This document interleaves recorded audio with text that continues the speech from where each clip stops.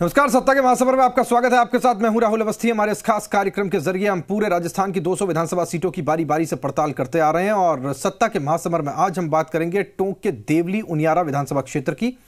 हम जानने की कोशिश करेंगे कि पिछले साढ़े चार सालों में देवली उनियारा विधानसभा क्षेत्र का कितना विकास हुआ, कितने स्थानीय मुद्दों को सुलझाया गया, वर्तमान सरकार के कामकाज से लोग कितने खुश हैं, स्थानीय विधायक को लेकर लोगों की क्या राय है? अगले आधे घंटे हम आपको देवली उनियारा विधानसभा क्षेत्र की ग्राउंड रिपोर्ट दिखाएँगे।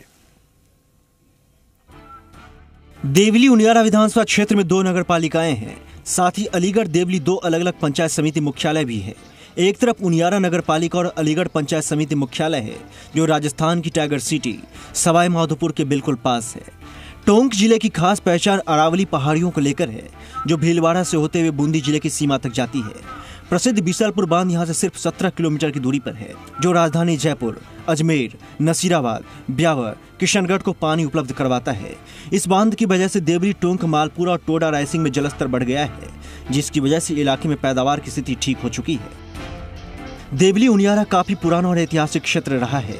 यहाँ नवाबी रियासत रही है तो पांडव के अज्ञातवास के अंश भी आज भी यहाँ मौजूद है। देवली और उनियारा दोनों ही उपखंड मुख्यालय राजस्थान के प्रसिद्ध जिलों में से एक है। उनियारा में राजस्थान का सबसे बड़ा कच्चा बाँध गलवानिया है। वहीं एक दिलचस्प बात यह भी है कि टोंक 1817 से तक ब्रिटिश भारत में नामांकित रियासत की राजधानी भी थी।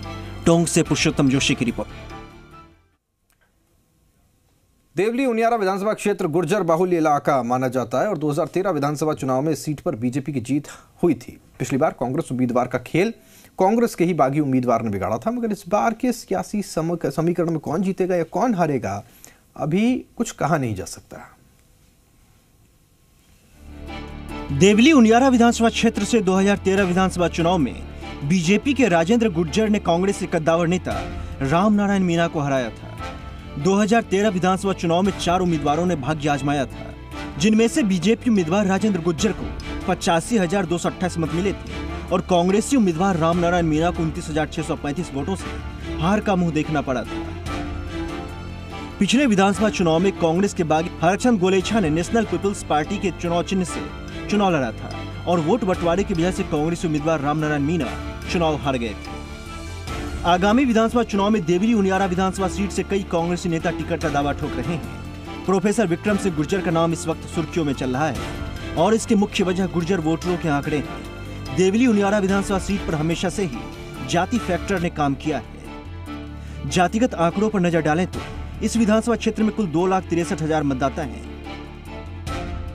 जिनमें मीना साठ हज़ार, गुर्जर छियालीस हज़ार, माली बारह हज़ार, धाकड़ तेरह हज़ार, जाट सत्ताईस हज़ार, ब्राह्मण सोलह हज़ार वैश्य बीस हज़ार, राजपूत आठ हज़ार, मुस्लिम अट्ठारह हज़ार, एससी वोटर्स अट्ठाईस हज़ार और अन्य मतदाता करीब पंद्रह हज़ार हैं। यानी जातिगत आंकड़ों के लिहाज से देखें तो गुर्जर और मीना समुदाय के वोटर सबसे ज़्यादा हैं। लिहाजा इस सीट पर हमेशा से जाति फैक्टर काम करता रहा है और गुर्जर उम्मीदवार को तवज्जो मिलती रही है। वहीं टोंक सवाई माधोपुर लोकसभा क्षेत्र की आठ विधानसभा क्षेत्र में से एक टोंक विधानसभा क्षेत्र है। वहीं यहाँ से बीजेपी के सुखवीर सिंह जौनपुरिया सांसद हैं।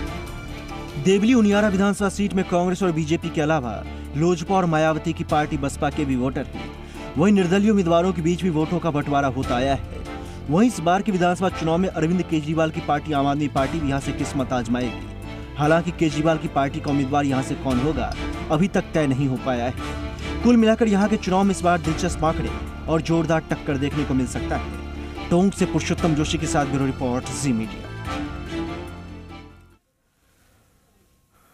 वहीं विधानसभा क्षेत्र की बड़ी समस्याओं में एक समस्या पीने के पानी की समस्या है। बीसलपुर बाँध होने के बाद भी क्षेत्र के लोगों को पीने के लिए पानी के इंतज़ाम के लिए परेशान होना पड़ता है। लोगों को फ्लोराइड युक्त पानी पीना पड़ता है तो सड़कों की स्थिति भी क्षेत्र में काफ़ी खराब है। नेता लोक लुभावन वायदे तो कर बैठते हैं, लेकिन अमली जामा नहीं पहनाते। राजस्थान की सबसे बड़ी पेयजल योजना बीसलपुर बाँध होने के बाद भी स्थानीय लोगों को पीने के पानी के लिए खासा परेशान होना पड़ता है। स्थानीय लोगों को पीने के लिए फ्लोराइड युक्त पानी सप्लाई की जाती है, जो पीने के लायक बिल्कुल भी नहीं होता। बीसलपुर बाँध का पानी क्षेत्र में सप्लाई किया नहीं जाता, बल्कि इसके नाम पर सिर्फ़ राजनीति की जाती है। बीसलपुर के लिए जो नहरें थी, जो हमारी जैसे गलवा बाँध है, उसके पाँच करोड़ रुपए उसके हैं। हमारे भानपुरा का बाँध है, उसके लिए तीन करोड़ कुछ रुपए हैं। नासिरदा का बाँध है, बड़ा, उसके लिए पैसे आए मतलब नहरों के लिए जो हमारे सुदृढ़ीकरण के लिए बंदों के लिए काफ़ी पैसा है ताकि किसानों के लिए, किसानों के लिए पानी देंगे, पानी से उनकी आय अधिक होगी, क्योंकि प्रधानमंत्री जी भी कहते हैं कि इनकी आय दुगनी करेंगे 2022 तक। शौचालय के लिए शौचालय बनवाएँ सब प्रधानमंत्री आवास के काम चल रहे हैं ताकि हमारे जो किसान भाई जो आज तक जो उनके मकान छत नहीं थी उनके लिए छत की व्यवस्था की बीसलपुर पेय पे योजना जो कि क्षेत्र में टोंक वाया नगर फोर्ट उनियारा अलीगढ़ और यहाँ के लगभग 210 गाँवों में जाने थी वहाँ पर एक भी नल की टोटे में पानी नहीं आया। ये पूर्ण रूप से विफल विधायक है और ये सरकार पूर्ण रूप से विफल है। कुछ भी नहीं हुआ साहब। पहले भी सरकार आई थी। बड़े बड़े वादे करते हैं। अभी भी साढ़े चार साल हो गए सरकार को। वो रोड बना देंगे चौबीस घंटे बिजली देंगे। और बिलासपुर को बिशुलपुर का पानी देंगे चौबीस घंटे, लेकिन अभी तक ना तो सड़कें बनी है, ना चौबीस घंटे लाइट आती है, और पानी की इतनी समस्या हो रही है पीने की, अभी तक पानी भी नहीं है। बिसलपुर बाँध के डूब क्षेत्र में करीब आठ ग्राम पंचायतों के करीब दो दर्जन गाँव में करीब चालीस हज़ार की आबादी में बसे परिवारों को अब तक ना तो बिजली मिल पाई और ना ही पानी। हद तो ये है कि सड़क खराब है, जिसकी वजह से आए दिन हादसे होते रहते हैं। डूब क्षेत्र में ना कोई बड़ा अस्पताल खुला है, ना ही परिवहन के लिए रोडवेज़ की बसें लगाई जाती हैं। मंत्री यूनुस खान ने दो साल पहले आठ दिन में सड़क बनाने का वादा किया था, लेकिन साल भर गुजर जाने के बाद भी सड़क का कोई नामो निशान नज़र नहीं आता। देखिए, अगर हम देवली नारा विधानसभा क्षेत्र की बात करें तो आप डूब क्षेत्र से हम देखें, सबसे बड़ी समस्या आज वहाँ सड़क की है।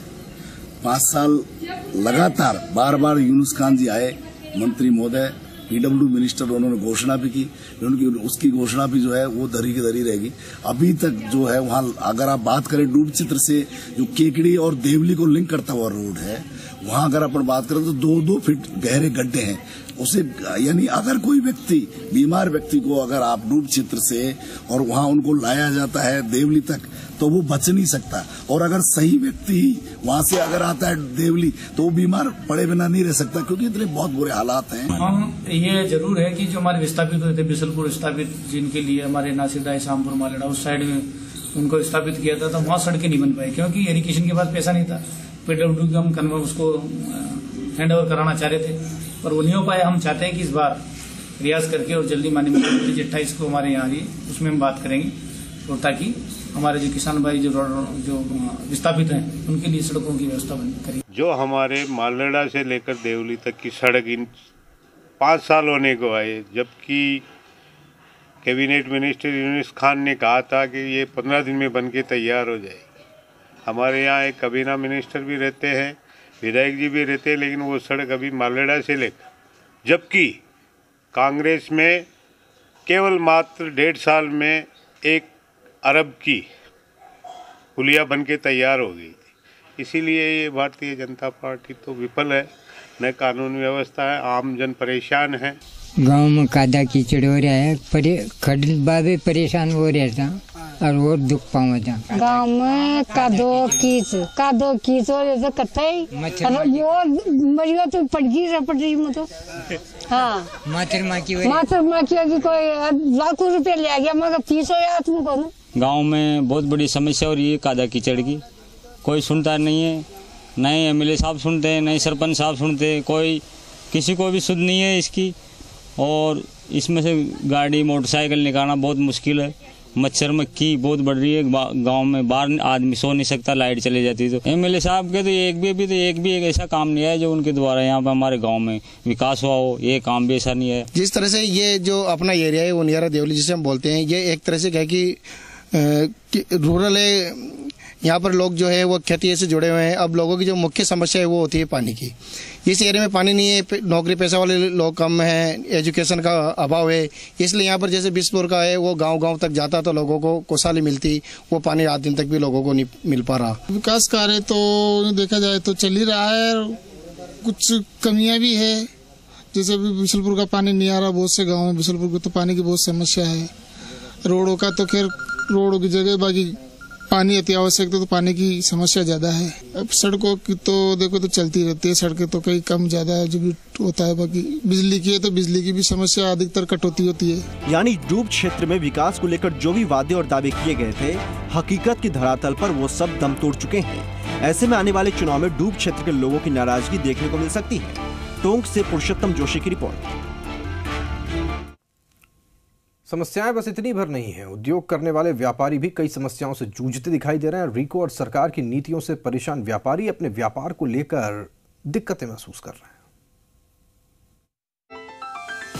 विधानसभा क्षेत्र में व्यापार करने वाले व्यापारी भी अपने व्यापार को लेकर बेहद परेशान रहते हैं। मगर व्यापारियों की दिक्कतों को सुनने वाला कोई नहीं होता। रिको और सरकार की नीतियों के खिलाफ व्यापारी कई बार सवाल उठाते रहे हैं पर उन समस्याओं का समाधान नहीं हुआ है। पिछले दो साल से टोंक ज़िले की हालत बड़ी बेकार है। टोंक ज़िले क्या राजस्थान की माने अपन सारी। नोटबंदी से तो स्थिति ये आ रही है कि लोग अपना गृहस्थी का खर्चा नहीं चला पा रहे। नोटबंदी में भी बड़ों लोगों ने ही मज़े लिए। गरीब तबका आदमी कभी लाइन में नहीं लगा। दूसरी बात, इन्होंने जीएसटी लगाई। जीएसटी लगाने के बाद व्यापार बिल्कुल चौपट हो गया। स्थितियाँ ये हो गई आज।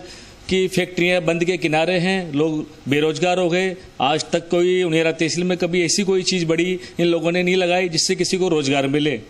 ये तो छोटी मोटी जो फैक्ट्रियाँ हम लोगों की लगी हुई है, इससे लोगों को रोज़गार मिल रहा है। और आने वाले टाइम पे ये तो पब्लिक ही जवाब देगी कि पाँच साल में लोगों ने कैसा काम किया। युवाओं में बहुत ज़्यादा बेरोजगारी है। यहाँ पर उनियारा क्षेत्र के अंदर रिको के डेवलपमेंट की बात थी, उसकी ओर एक पत्थर तक नहीं रखा गया। यहाँ पर जो असंगठित क्षेत्र है, मजदूरों के लिए कोई मजदूरी नहीं है, युवाओं के लिए रोज़गार नहीं है, बेरोजगारी चरम पर है और यहाँ एकमात्र जो कृषि मंडी है, उसमें भी किसानों का अनाज समय पर नहीं तोला जाता और उनके अनाज का पूरा मूल्य उनको नहीं दिया जा रहा। व्यापारी परेशान है तो कांग्रेस नेता सरकार पर आरोप लगाने में व्यस्त नज़र आती है। स्थानीय लोग भी सवाल पूछने पर दिक्कतों का ज़िक्र करते हैं। कहीं सड़कों की समस्या है तो कोई पानी को लेकर परेशान, कोई अस्पताल को लेकर परेशान, कोई पढ़ाई को लेकर। 2014 में जब ये सरकार बनी, टोंक ज़िले की चारों विधानसभाओं से भारतीय जनता पार्टी के एमएलए जीत कर गए। लोगों को अपेक्षा थी, लेकिन अपेक्षाओं पर ये सरकार साढ़े चार साल, पौने पाँच साल पूरे हो गए, बिल्कुल भी खरी नहीं उतरी। जहाँ तक देवली उनियारा विधानसभा की बात है, बहुत लंबा चौड़ा क्षेत्र है, जिसका एक सिरा आमली और दूसरा राजकोट की ओर जाता है, जिसके बीच में लगभग डेढ़ सौ, पौने दो सौ किलोमीटर की दूरी है। वर्तमान विधायक देवली उनियारा विधायक राजेंद्र गुजर पूर्ण रूप से असफल रहा है। यहाँ की जो मुख्य परेशानियाँ हैं, बेरोजगारी है युवाओं के अंदर, यहाँ पर आय के कोई स्रोत नहीं है। ज़्यादातर जनता कृषि कार्य पर डिपेंड है और यहाँ की जो पेयजल व्यवस्था है, वो बिल्कुल चरमराई हुई है। यहाँ पर शिक्षा के क्षेत्र में एवं रोज़गार के क्षेत्र में कोई विकास हो नहीं पाया। यहाँ से लोगों ने रोज़गार के लिए किसी ने जयपुर पलायन किया, किसी ने कहाँ पलायन किया। और शिक्षा के क्षेत्र में भी ऐसा कोई खास कोई डेवलपमेंट हुआ नहीं। हालात तो बस बच्चे स्कूल में भी जा नहीं पाते हैं डेली। कादा कीचड़ इतना हो रहा है कि निकलना भी बहुत मुश्किल हो रहा है गाँव में। चारों तरफ़ पानी पानी भरा हुआ है तालाब की तरह। कितनी ही बारी शिकायत की, पिछली सरकार को शिकायत की, अभी भी साढ़े चार साल की सरकार को कितनी बारी शिकायत की, लेकिन कोई भी प्रशासन या विधायक, एमएलए कोई भी आके यहाँ ध्यान नहीं देता और हम बहुत परेशानी का सामना उठाना पड़ रहा है इन लोगों लोगों की परेशानी एक तरफ़ मगर देवली नगर पालिका की अध्यक्ष रेखा जैन सरकार की उपलब्धियों का बखान कर रही हैं और विधायक के कामकाज का जमकर तारीफ़ करती हैं। लेकिन पालिका के उपाध्यक्ष जितेंद्र सिंह मानते हैं कि जो काम होने चाहिए थे उतने काम नहीं हुए जिसकी वजह से लोगों में नाराज़गी जैसे देवली विधानसभा क्षेत्र में गौरव पथ को लेकर हर गाँव ढंडियाणी में सड़कों का निर्माण हुआ है उनियारा में उपखंड कार्यालय खोला गया शॉप में तहसील कार्यालय खोला गया देवली पालिका क्षेत्र में करोड़ों रुपए दिए गए ओडीएफ कराया गया। आ, सभी क्षेत्रों में विकास की शिक्षा के क्षेत्र में भी विकास हुआ है। श्री एमएलए साहब ने दुनी को तहसील बनाया गया नासदा को ब्रेक का वक्त है फ़ौरन लौट